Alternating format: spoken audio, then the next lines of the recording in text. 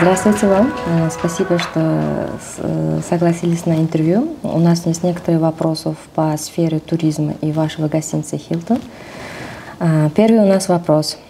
В чем главная задача главного менеджера в гостинице? Ну, в чем ваша основная задача? Здравствуйте. В первую очередь, добро пожаловать в Хилтон Ташкент Сити. Спасибо. Спасибо, что пригласили меня на интервью. Задача генерального менеджера отеля э, не, не заключается в том, чтобы настраивать работу всего отеля. Обычно есть процедуры, стандарты, которые установлены уже э, задолго до того, как появились уже мы, наш отель. То есть эта индустрия существует достаточно давно. Э, задача генерального менеджера убедиться, что данные процедуры проходят в правильном порядке, словно конвейер на заводе, на производстве – и э, убедиться, что если что-то выходит за рамки э, работы и что-то идет неправильно, генеральный менеджер должен подключиться в этот момент и убедиться, что э, процедуры, процедуры, процедуры и процессы пошли обратно в правильном порядке. Ну и, конечно же, мы являемся организацией гостеприимства, да? но кроме задачи того, как сделать так, чтобы гость был довольный, чтобы лицо страны было правильным да, перед туристами, перед э, посетителями нашей страны, э, поддерживать имидж гостиницы, но также это является финансовая часть, где гостиница, отель должен, должен делать деньги, uh-huh. должен приносить прибыль, uh-huh. потому что владельцы э, вложили немалую сумму обычно в эту индустрию. Поэтому генеральный менеджер отвечает за все эти процессы, включая операционные, чтобы э, гость заселялся и выселялся э, в правильном порядке, а также то, чтобы э, сам объект бизнеса приносил необходимые дивиденды владельцам. Угу. Спасибо. А какими качествами должен обладать менеджер отеля? Просто прилагательные. Что можете описать? Наверное, главное качество, которого я бы отметил, это стрессоустойчивость. Э, э, гостиница – это не тот объект, который работает, там, скажем, с 9 до 6, в 6 закрывает свои двери, говорит, закрыто, больше никого не пускает. Это круглосуточная, э, круглосуточная организация, которая работает без выходных, без праздников. И, конечно же, могут происходить разные ситуации, которые могут вывести человека из, из себя, и стрессоустойчивость, безусловно, один из главных факторов э, не только менеджера гостиничного, да, но и любого другого сотрудника на любом уровне. Спасибо. Что побудило вас выбрать именно карьеру в индустрии гостеприимства? Почему вы выбрали именно эту профессию? Не знаю, насколько ли э, человек, выбирая свою профессию 18 лет, дает себе осознание того, что он идет в правильном направлении, что он хочет заниматься именно этим. Мне иногда кажется, что 18 лет, когда вам нужно определяться, в какую э, индустрию вы хотите пойти, чем вы хотите заняться, это немножко рано, рановато. Но в, в то время э, мне повезло с тем, что я уже попробовал себя немного в гостиничной сфере, да, я начинал работать э, белбоем, носил чемоданы угу. гостям. из этого, да? Да, и мне очень э, понравилась эта индустрия тем, что нету ни одного дня, который похож на предыдущего. У вас каждый день происходит что-то нового. Нету рутины, угу. разные гости, разные люди, разные ситуации. И, наверное, то, что отсутствие рутины побудило меня все же выбрать эту профессию. Спасибо. А, сравнение 10 лет. Как у нас развивается в стране сфера туризма? Э, если взять, э, например, индустрию туризма Республики Узбекистан, это получается 2012 да. год и 2022, да, это две разные параллели, это две разных, два разных вообще мира туризма. Как раз-таки в 2012 это был, были те года, где, когда я только-только вот относительно начинал свою карьеру, э, была, была сезональность, например, да, я помню, угу. чтобы сезоны, э, сезоны да, да, там весной и осенью да. есть гости, летом. Э, 2016 года, э, благодаря реформам э, Шавкат Мирамановича Мизиева, президента Республики Узбекистан, уважаемого, индустрия туризма начала резко развиваться. Mm-hmm.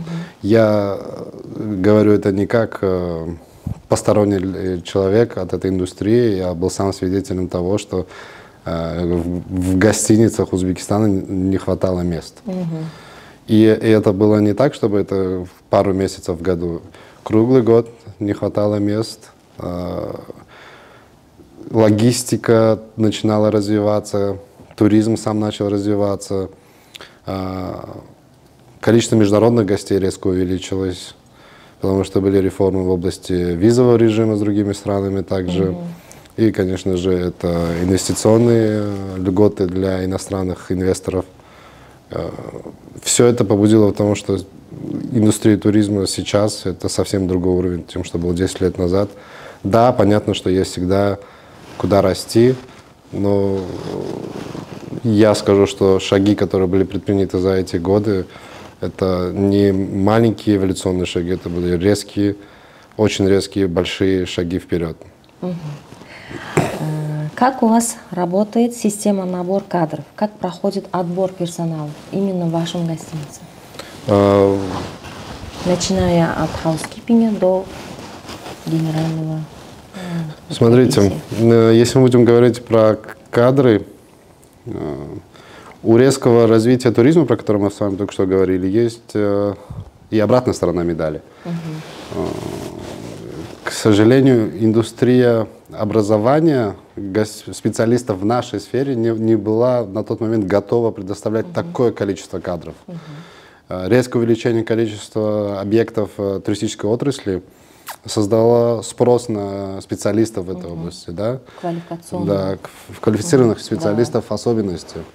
А, но если мы говорим сейчас, конечно, мы уже пытаемся набирать людей, в особенности энтузиастов своей индустрии, которые mm.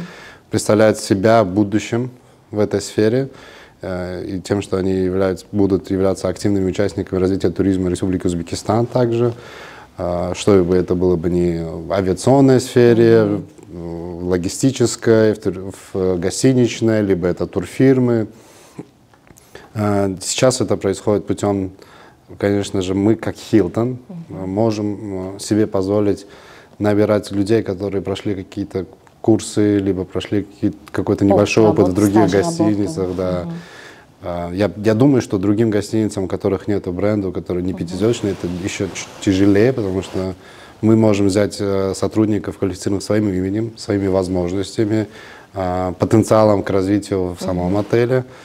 А, ну и проходят также стандартные процедуры. Это происходит через отдел а, Работа с персоналом. У нас есть рекрутер, который находит сотрудников.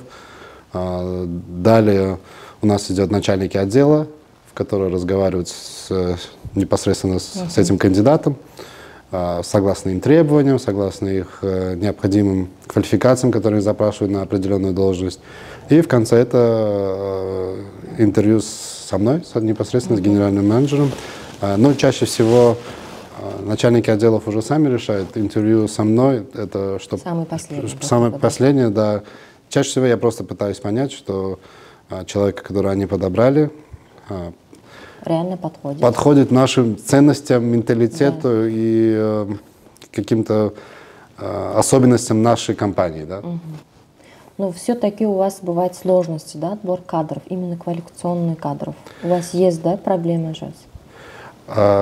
Проблема квалифицированных кадров, она, я думаю, сейчас не только в Узбекистане. Эм, Во всех Мне общаюсь, да, я работал также в Эмиратах, угу. в Объединенных Арабских Эмиратах, в городе Абу-Даби, я работал и в Соединенных Штатах Америки. Я вам скажу так, э, проблема с кадрами в области туризма, она везде. Но сейчас открываются колледжи, открываются университеты, зарубежные курсы, которые вы можете пройти обучение за границей в этой сфере mm-hmm. стало достаточно популярным.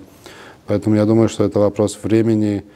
А, но я, может быть, вам скажу сейчас э, тоже еще, что сотрудники гостиничной индустрии – это не инженеры, это не врачи, mm-hmm. это не э, хирурги, да, которым нужно точечное образование. Э, да, им Да, нужны это- базовые да. данные, чтобы они умели разговаривать с гостями, разговаривать с людьми. Это в основном communication skills, так называемые, да. Personality, да. Сам человек должен Сам человек должен быть э, настроен да, работать чувствовать, так. что он человек этого индустрии. Да. Это креативность, Красивость, Да. подход к делу, Да. ответственный, пунктуальность, а вежливость, да, да, да. всё аккуратность, да. А так что я не считаю, что это нужно. Самый последний вопрос у нас. А какие у вас проекты или как вы видите Хилтона через 5 или 10 лет? Какие у вас, э, как сказать, vision? А, С развитием рынка в Узбекистане туризма, ну, конечно же, есть э, то, что у нас появляются конкуренты э, на данном рынке. Можете сказать именно эти конкуренты? Что, э, кто их вы считаете? Ну, на данный момент, если мы говорим про сейчас, это один единственный конкурент нашей э, в Ташкенте, прямой конкурент, я имею в виду, это Хаят Хаят, из э, больших пятизвездочных гостиниц. А В скором времени открывается э, Интерконтиненталь. э, Это новая версия, что ли? Да, где три лент. Ага. Да, А, там, да, будет, да, где- там будет гостиница Интерконтиненталь, даже пятизвездочная гостиница. А, Но с темпами развития туризма в Узбекистане, я думаю, что это не будет проблемой, что все еще, даже при открытии Интерконтинентали, количество э, номеров, э, номерного фонда в Узбекистане не будет хватать на общее количество. То есть, чем больше открывается гостиниц, тем больше увеличивается поток. Спрос, да. А что ваш УТП? То есть чем вы отличаетесь от других гостиниц? Чем отличается Хилтон от других гостиниц? Э, От других гостиниц именно из моего конкурентного списка вы имеете в виду? Ну, из пятизвездочного, наверное, я вам скажу так. э, Судя по отзывам гостей и судя по опыту, который я, я лично замечал, мы более гибкие, э, мы чаще идем навстречу. Да, у нас есть свои стандарты, да, есть свои процедуры, но мы э, всегда стараемся подобрать индивидуальный подход к каждому гостю. То есть э, в английском языке есть такое слово luxury, Да, да? да. Люксовый подход, он индивидуален. Люксовый для меня и люксовый для вас – это две разные вещи. Поэтому мы пытаемся понять, что каждый индивидуальный гость, каждая индивидуальная компания хочет от нас, какой подход она хочет, чтобы э, максимально соответствовать их требованиям и ожиданиям. А, Поэтому мы и э, попали в прошлом месяце в топ-10 самых э, лучших Хилтонов по версии э, По посетителей всему миру, да? по всему миру. Да. Мгм. Да, у вас реально вежливый очень персонал. Спасибо, благодарю. А что вы можете сказать будущим студентам, э, ученикам, которые хотят поступить на это гостеприимство, индустрия отеля? М, Как э, можете дать немножко мотивации для них? С чем начать, как начать, какие образования? Я сам, например, получал э, бакалавр в области гостиничного бизнеса и туризма э, в нашем Сингапурском университете. Э, Последний год там был австралийский университет Southern Cross. Он- вы учитесь также в Узбекистане. И после того, как я закончил университет, казалось бы, с высшим образованием, я все еще работал на ресепшене, обычным сотрудником ресепшена. Э, Но при этом я всегда старался делать то, что делает следующая должность после меня. Я не только выполнял свой функционал, я всегда старался выполнять тот функционал э, то- того сотрудника, того человека, который является на одну должность выше меня. И я буду вам честно, честно честен и откровенен. Э, Я думаю, еще столько людей впереди, еще столько должностей впереди. Стану ли я когда-нибудь генеральным менеджером, да? э, Но вот я здесь перед вами. И, Ну, Работали над собой и вера была сильнее, да? Да, мы, ну, конечно, это, это много труда, это много работы. Терпения. Да, это Да. отказ от чего-то. Да. Иногда э, в пользу своих целей. Э, но в то же время, конечно же, я, э, вы должны быть лояльны той компании, в которой вы работаете. Я хочу сказать, с какими бы вы бы не были образованными, какими бы вы не были бы квалифицированными, если вы не подходите менталитету и ценностям компании, вы скоро оттуда уйдете. Да. Поэтому нужно впитываться ценностями компании, в которой вы работаете. в чужую избу со своими уставами не приходит, в чужой дом тоже со своими правилами не приходит. Приходя в ту компанию, в которой вы хотите развиваться, примите их требования, ценности и старайтесь максимально им соответствовать.